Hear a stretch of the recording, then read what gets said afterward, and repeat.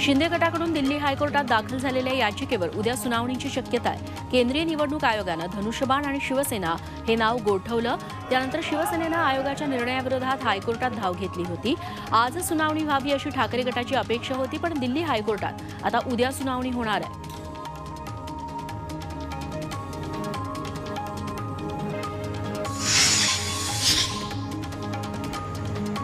शिंदे गटाचं अर्थात बाळासाहेबांच्या शिवसेनेचं पहिलं कार्यालय नवी मुंबईत उघडण्यात आलंय. निवडणूक आयोगानं शिंदे गटाला नाव दिल्यानंतर पहिल्या शाखेचं उद्घाटन करण्यात आलंय. बाळासाहेबांची शिवसेना असं नाव या कार्यालयावरती लावण्यात आलंय.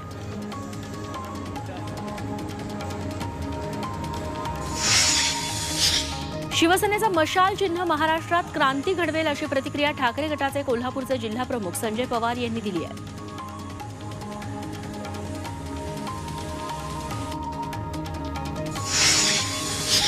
बाळासाहेबांची शिवसेना हे नाव आम्हाला मिळालं यातच आमचा विजय झालाय.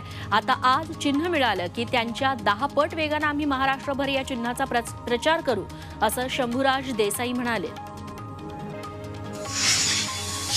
बाळासाहेबांची शिवसेना या शिंदे गटाला मिळालेल्या नावाची किशोरी पेडणेकरांनी खिल्ली उडवली आहे. बाळासाहेबांची शिवसेना बाळासाहेब कोण बाळासाहेब थोरात का विखे पाटलांची का असा सवाल त्यांनी उपस्थित केला.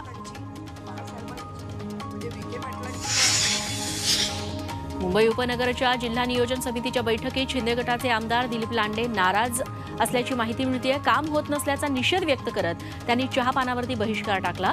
सरकार बदललं तरी प्रशासकीय यंत्रणा मात्र अद्याप सुधारली नसल्याचा आरोप त्यांनी केला.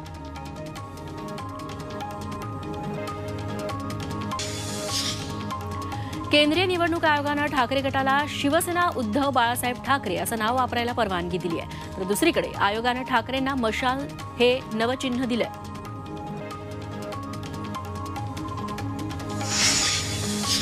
ठाकरे गटाला मशाल चिन्ह मिळाल्यानंतर संभाजीनगरात ठाकरे गटांनी एकच जल्लोष केला. ठाकरे गटाच्या कार्यकर्त्यांनी रस्त्यावर उतरून मशाल हातात घेऊन जल्लोष केला.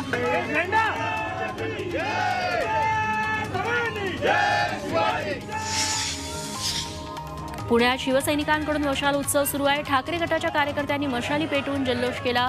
पुण्यातील कोथरूडमध्ये कर्वे पुतळ्याजवळ हातात मशाली घेऊन जोरदार घोषणाबाजी करण्यात आली. मशाल चिन्ह घेऊन महाराष्ट्रभर जाऊ आणि मशाल घराघरात पोहोचवू असा निर्धार माजी मंत्री शिवसेना नेते आदित्य ठाकरेंनी व्यक्त केला आम्ही लढू आणि अंधेरीची पोटनिवडणूक जिंकू असा विश्वासही त्यांनी बोलून दाखवला. सध्याच्या साऱ्या घटनांमध्ये भाजपचा हात आहे त्यांचंही षडयंत्र आहे. त्यामुळे भविष्यात भाजप आणि त्यांचे नेते नष्ट होतील अशी टीका शिवसेनेचे उपनेते राजन साळवी यांनी केली आहे.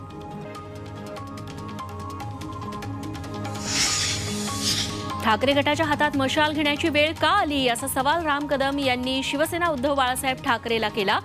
बाळासाहेबांनी काँग्रेसवर नेहमीच प्रहार केला होता आता बाळासाहेबांचे दुश्मन उद्धवजींना अतिप्रिय झालेत असंही कदम म्हणाले.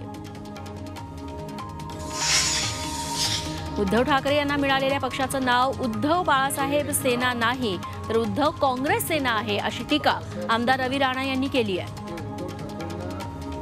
पक्ष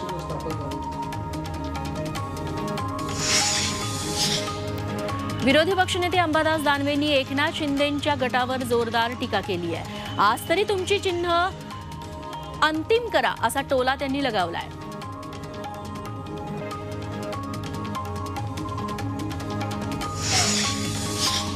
जळगावात शिंदे गटाचे आमदार किशोर पाटील यांच्या भगिनी वैशाली सूर्यवंशी यांनी शिंदे गटाविरोधात एल्गार पुकारलाय. आयोगाचा हा निर्णय संविधान विरुद्ध असल्याचा आरोप शिवसैनिकांनी केला. अंधेरी पूर्व पोटनिवडणुकीसाठी काँग्रेसकडून शिवसेनेला पाठिंबा दर्शवण्यात आलाय. मात्र हा निर्णय घेताना पक्षश्रेष्ठींनी विचारात न घेतल्यानं काँग्रेसचे काही स्थानिक पदाधिकारी आणि मुंबई काँग्रेसमधील एक गट नाराज असल्याची माहिती सूत्रांनी दिली आहे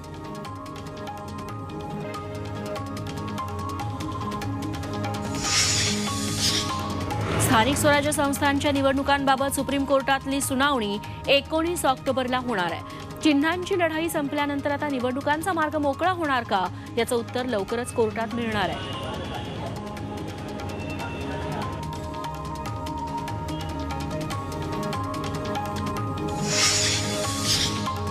राष्ट्रवादी काँग्रेसचे ज्येष्ठ नेते छगन भुजबळांच्या पंचाहत्तराव्या वाढदिवसानिमित्त आघाडीचा पॉवर गेम पाहायला मिळणार आहे. या दिवशी अमृत महोत्सव सोहळ्यात केंद्रातील भाजप सरकार विरोधात देशातल्या संभाव्य तिसऱ्या आघाडीनं पॉवरफुल शक्ती प्रदर्शन करण्याची तयारी सुरू केली आहे.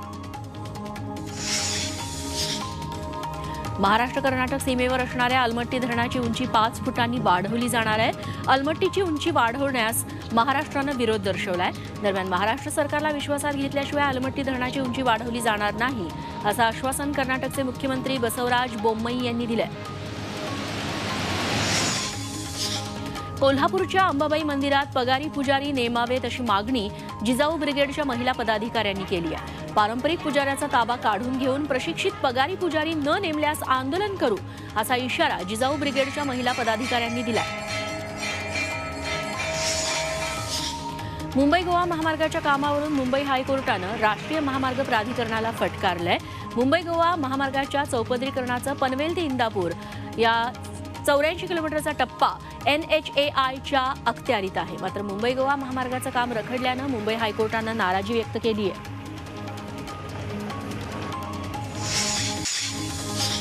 जगद्गुरू संत तुकाराम महाराज संस्थानच्या विश्वस्तपदी नाना आनंद मोरे यांची निवड निश्चित झाली आहे. केवळ नाना आनंद मोरे यांचाच एकमेव अर्ज आल्यानं त्यांची निवड निश्चित मानली जाते सोळा ऑक्टोबरला ही निवडणूक होणार आहे. आय पी एस अधिकारी देवेन भारती यांना पासपोर्ट प्रकरणात क्लीन चिट मिळाली आहे. तर निवृत्त वरिष्ठ पोलीस निरीक्षक फटांगरे यांनाही क्लीन चिट देण्यात आली आहे. मुंबई गुन्हे शाखेच्या इंटेलिजन्स युनिटनं भारती आणि फटांगरेंना पासपोर्ट प्रकरणात ही क्लीन चिट दिली आहे. अहमदनगर मनमाड महामार्गाची दुरावस्था झाल्यानं मनसेनं खड्डे पेटवून देत अनोखं आंदोलन केलं. एका खड्ड्या दुचाकीवरील मुलगी पडल्याची घटना घडली होती. या खड्ड्यातून एसटी बस चालक मात्र प्रवाशांना आणत असल्यानं बस चालकाचा सत्कार करण्यात आला.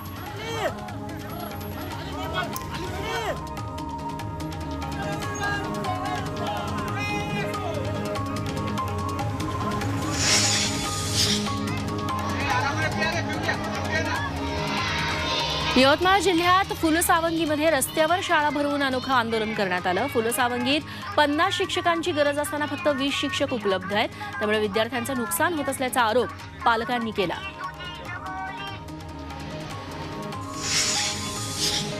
नांदेडमधल्या बिलोली तालुक्यातले सगरोळी गावात पाण्यासाठी सरपंचासह पंचायत सदस्य उपोषणाला बसलेत. सात कोटी रुपये खर्चून पाणी पुरवठा योजना राबवली मात्र अजूनही पाणी आलेलं नाही. त्यामुळे हे उपोषण करण्यात आलं. नांदेड जिल्ह्यातील किनवट तालुक्यात अंगणवाडीतला पोषण आहाराच्या सामानाची चोरी शिवाणी ग्रामस्थांनी पकडली. काळ्या बाजारात हा आहार विक्रीसाठी नेण्यात येत होता. पोषण आहाराचे तीन ते चार क्विंटल सामान एका पिकअप ऑटोत भरून काळ्या बाजारात नेलं जात होतं. कल्याणमधील इको फ्रेंडली कंदिलांना बाजारात अधिकची मागणी वाढू लागली आहे. त्यामुळे इको फ्रेंडली कंदील बनवण्याची लगबग सुरू झाली आहे. राजकीय आणि घरगुती कंदील बनवायलाही सुरुवात झाली आहे.